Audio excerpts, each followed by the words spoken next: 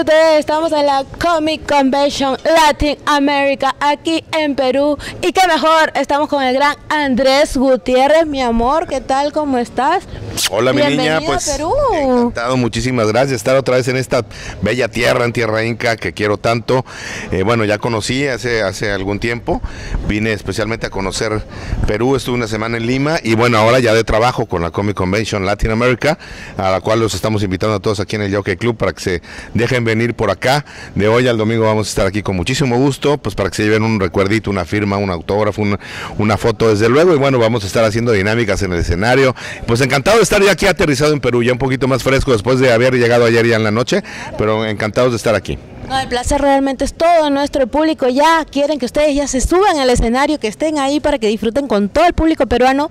Pero ahora yo quiero saber cómo inició toda esta aventura para ti en el mundo del doblaje. Bueno, yo empecé desde los 8 años de edad, desde niño, llevo más de 35 años ya en esto. Eh, mis padres, eh, mi papi en paz descanse, mi madre son actores, directores de doblaje, bueno, también de cine, de televisión, de teatro, pero ellos se conocieron en el mundo del doblaje. Y nosotros empezamos de niños desde los 8 años, mi hermano tenía 10 y yo 8 empezamos Sergio Gutiérrez también actor muy con- reconocido y director de doblaje. Empezamos desde niños porque pues no tenían con quién dejarnos entonces nos llevaban a trabajar o sea sin, sin querer que, que, que trabajáramos pero pues en lugar de de echar relajo como decimos en México, pues nos, nos poníamos a trabajar y eso nos distraía un poco. Entonces lo que empezó a ser como un juego, entre comillas, pues acabó siendo toda una profesión, aunque siempre lo tomamos muy en serio desde niños.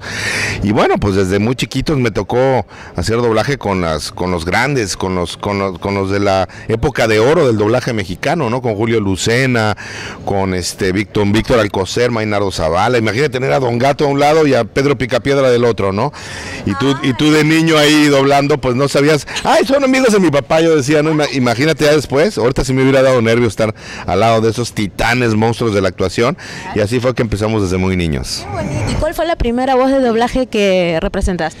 Uy, ni me acuerdo, obviamente en Don Gato y en esas caricaturas estuve en, en- en Los Duques de Hazard, me acuerdo, estuve en Chips Patrulla Motorizada, ya después pasaron los años y empecé a hacer este Beverly Hills 90-210, una serie muy famosa, tú estabas muy chiquita, amigo, ni habías nacido yo creo, pero bueno, me tocó hacer Steve Sanders al, al- al- cómico de la serie durante 10 años, 10, 10, 11 temporadas y nos, nos cambió la voz al mismo tiempo porque estábamos en la preparatoria, en, la high school, y nos cambió la, la voz al mismo tiempo. Y luego ya pues, llegaron series como Los Héroes, CSI Miami, Smallville, donde hago al Lex Luthor.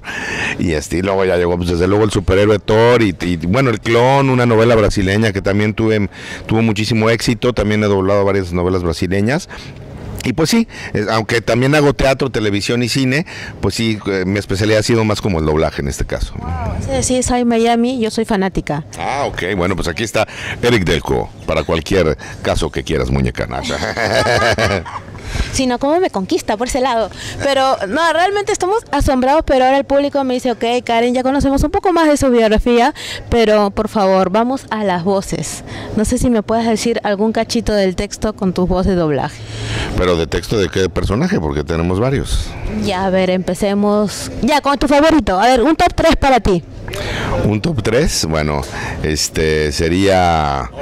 eh, bueno, sería desde luego... eh, el ciclo de la vida y la muerte continúa. Nosotros viviremos, ellos morirán. Soy Nasus desde Shurima. Nasus es uno de mis consentidos. Y bueno, cuando quieran, los invito a mi mansión, señores. Soy Lex Luthor de Smallville.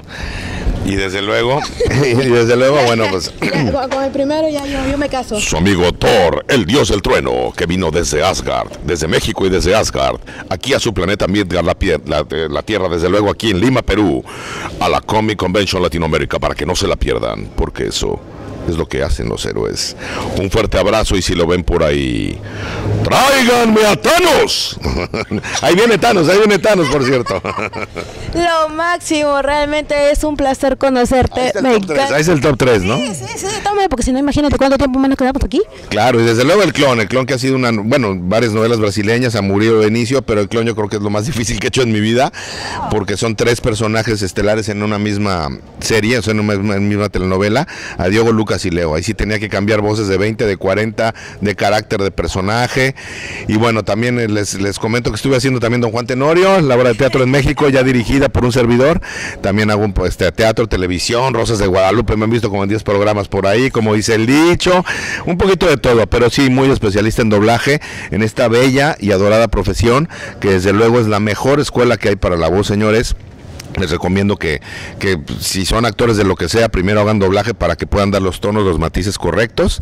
También, bueno, me echo mi comercial, también doy talleres de actuación, locución y doblaje. Muy canalizado actuación de la voz, pero también les ponemos ahí actuación de telenovelas, este que hice también con Carla Estrada. Y bueno, también locución y doblaje. También este, hacemos talleres para, a ver si próximamente regresamos también a hacer un tallercito por acá con mucho gusto para la gente pero Obviamente en estos talleres y cursos de actuación, locución y doblaje se les dice, ¿no? Eh, cómo calentar la voz, cómo, vaya, hay, hay que entrenar las cuerdas vocales también, es el, es el gimnasio de la voz, ¿no? Las cuerdas vocales, entonces hay que entrenarlas, la adicción, la, voz, el volumen, todo esto lo, vemos también en estos cursos y talleres. Y desde luego pues esperemos estar próximamente aquí también con ustedes para eso. Bueno, campeón, realmente ha sido... Mm, no, como los, los cantantes, no, pues hay que, hay que calentar un poquito siempre la, la garganta, pero bueno, también nos ha dejado roncos algunos personajes también por ahí, pero bueno, siempre hay que estar preparados para así todo. Que, nada, muchas gracias por tu tiempo. Realmente ha sido un placer conocer un poco más de ti. Así que por favor, invita nuevamente a la gente de Premium Perú TV a que venga aquí a la Comic Convention Latin America. Claro que sí, para nuestra querida gente de Premium. Eh, invitadísimos están aquí al Jockey Club. No se lo pierdan. Comic Convention Latin America. Aquí en Lima, Perú. ¡Por Asgard! Gracias.